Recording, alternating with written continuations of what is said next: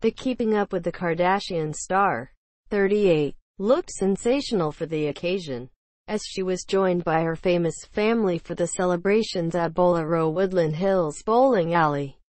But the former couple have remained amicable for the sake of their children and the Keeping Up with the Kardashians star, 38, looked sensational for the occasion, as she was joined by her famous family for the celebrations at Bowlero Woodland Hills Bowling Alley in. Kourtney kept her raven-hued tresses down in a poker straight style and wore her usual glamorous makeup look that came complete with contoured cheeks and a nude lip.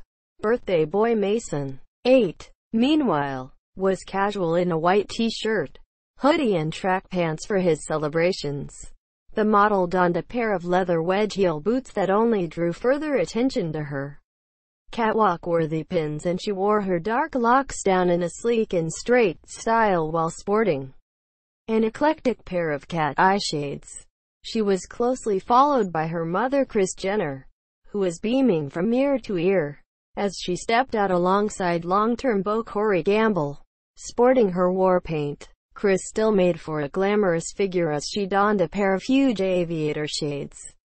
The reality star, who manages her six children, was initially denied the luxury when she applied in 2015.